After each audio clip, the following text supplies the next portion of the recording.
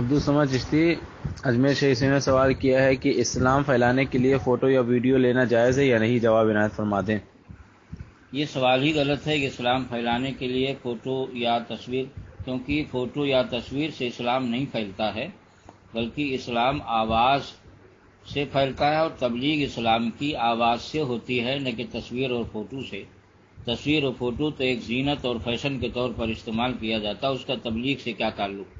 تبلیغ سے تحریر اور جو ہے تقریر کا تعلق ہے، تبلیغ، رد یا سنت کے ساتھ یا اسلام کے جو بھی شعبہ جات ہیں، ان کے ساتھ زبان اور قلم سے ہوتی ہے۔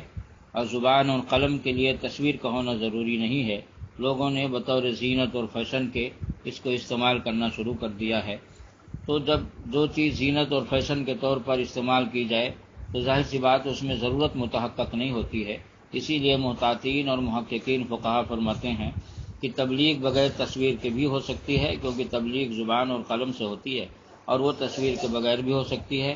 اس لیے یہ کہنا کہ تبلیغ کے لیے تصویر کا استعمال کرنا کیسا ہے، تو یہ سوال ہی غلط ہے، کیونکہ تصویر کا، تبلیغ کے لیے تصویر کا ہونا ضروری نہیں ہے، بلکہ آواز کا ہونا ضروری ہے، اور وہ بغیر تصویر کے بھی ہو سکتی ہے۔